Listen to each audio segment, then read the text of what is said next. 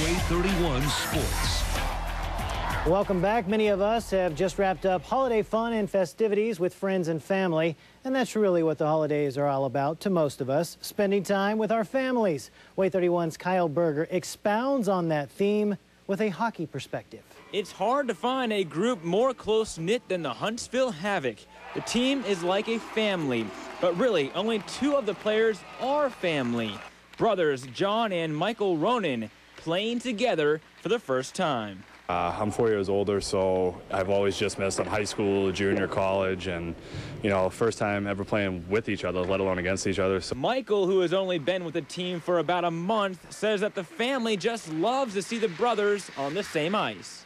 But back home, uh, watching everybody's watching the games on the internet to see both of us, so the family, the family loves it. Growing up in Boston, the Ronan brothers were just like any other siblings. They'd fight with each other, they'd pick on each other, but mom would not let them do one thing. That's let big brother take shots on little brother. I don't think I was ever allowed to shoot on my brother. Uh, I, the one thing I can do in hockey is shoot the puck, and I think my mom knew that too. Growing up, he always had one of the hottest shots Yeah. wherever we were, so I was a little afraid of that. Nowadays, mom is not here, so John lets the shots fly in practice.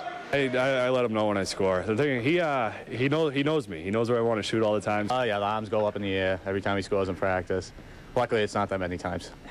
In Huntsville, Kyle Burger, WAAY 31 Sports. Thank you very much, Kyle.